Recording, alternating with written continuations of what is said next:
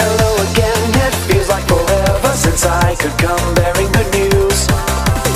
Feels like my gears are back into motion and I'll share my momentum with you.